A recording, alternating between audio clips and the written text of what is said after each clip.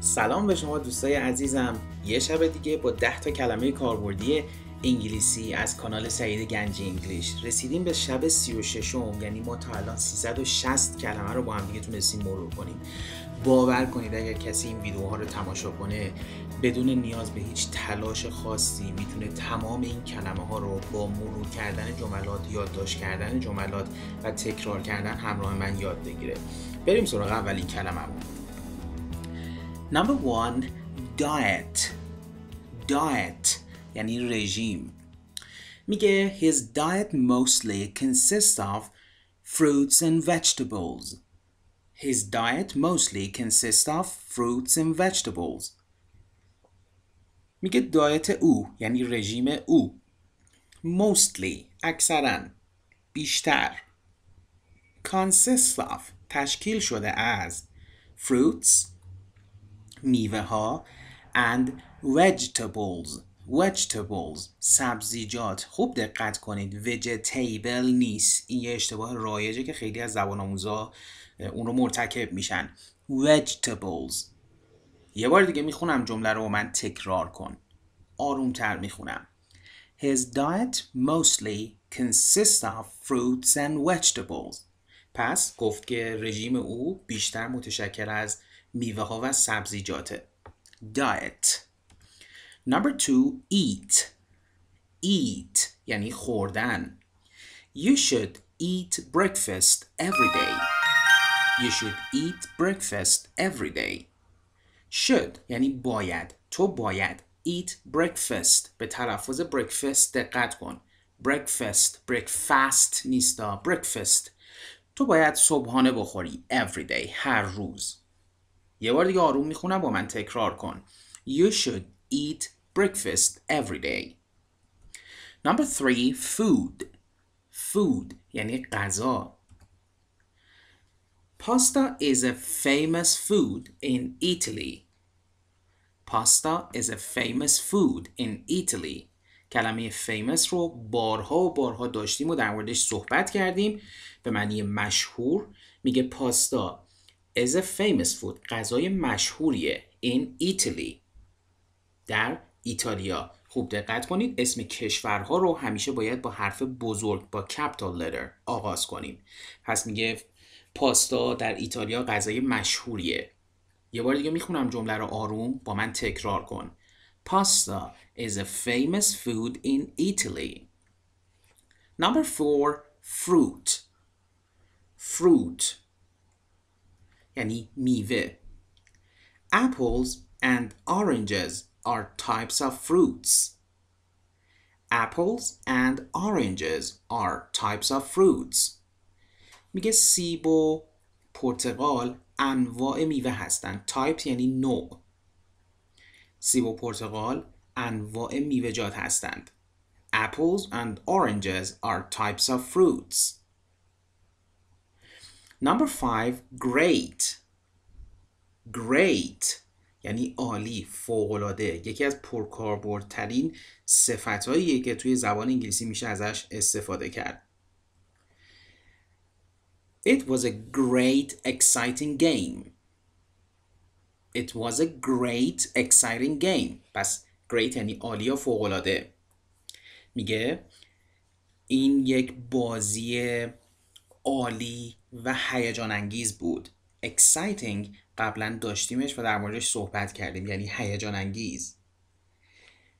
این یک بازی عالی، فوق‌العاده و هیجان انگیز بود. یه بار دیگه جمله رو می‌خونم با من تکرار کن. It was a great, exciting game. It was a great, exciting game. Number six, health. Health.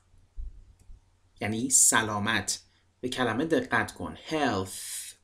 T-O-H. th. زبان بین دندانهای بالا و پایین قرار می‌گیره. Health. یعنی سلامت. People who want good health should not smoke. People who want good health should not smoke. میگه افرادی که people یعنی مردم می‌تونیم بگیم افرادی که who want می‌خوان. چه چیزی داشته باشن؟ Good health. یه سلامت خوب داشته باشن. Should not smoke. نباید سیگار بکشن. پس یه بار دیگه می‌خونم خوب دقت کن. People who want good health should not smoke. مردمی که می‌خوان سلامت خوبی داشته باشن می‌خوان سالم باشن should not smoke. نباید سیگار بکشن. یه بار دیگه آرام می‌خونم باید با من تکرار کنی. People who want good health should not smoke. Number seven. این کلمه چیه بچه ها؟ رسیب رسایب آها.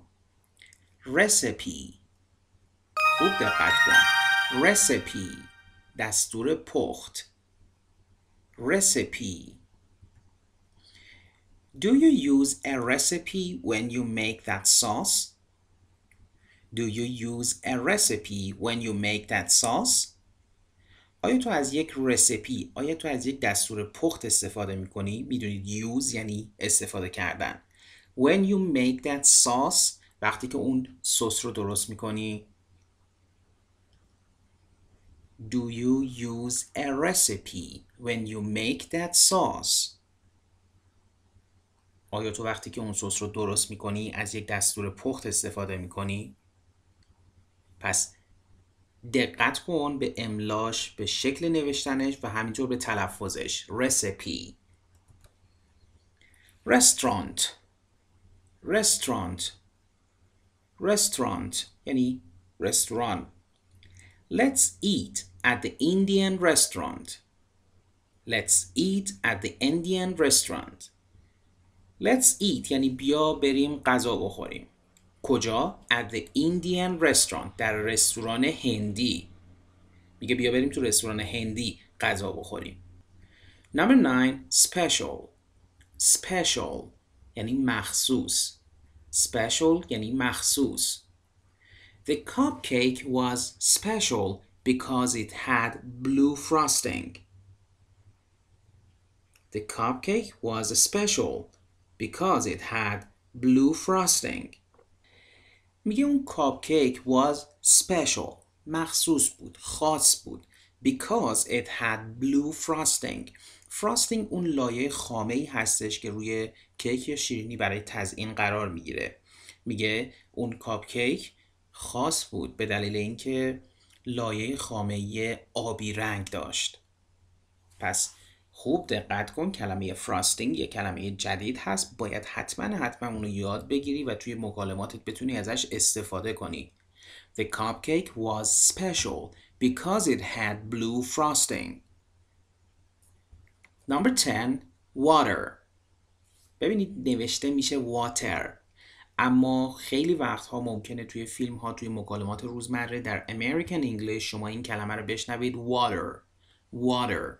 پس اصلا تعجب نکنید. ذهنتون باید آماده باشه که یه همچین کلمه ای رو متوجه بشه. پس وقتی شما این کلمه رو اینجا یاد بگیرید مطمئنا هر جای دیگه که اون رو بشنوید این توی ذهنتون هست که این کلمه واتر هست که به این صورت تلفظ میشه. پس خوب دقت کن و من تکرار کن. Water. Water. Drink eight glasses of water every day. Drink eight glasses of water every day. میگه هر روز هشت لیوان آب بنوش. گلاس یعنی لیوان. Glasses یعنی لیوان ها درینک هم که یعنی نوشیدن. میگه هر روز هشت لیوان آب بنوش. یه بار دیگه جمله رو آروم می‌خونم با من تکرارش کن. Drink 8 glasses of water every day. بسیار بسیار عالی. خیلی ممنون که امشب هم همراه من بودید امیدوارم این کلمه ها واقعا واقعا براتون مفید باشه و تو مکالمات استفاده کنید. و همینطور اینکه این کلمه ها باید یادداشت بشن نوشته بشن و روزانه مرور بشن تا توی ذهن شما جای بگیرن. جملاتش رو هم یادداشت کنید تا با خوندن اونها اون کلمه بهتر توی ذهنتون فیکس بشه. خیلی مراقب خودتون باشید. تا فردا شب. گود نایت شاد باشید.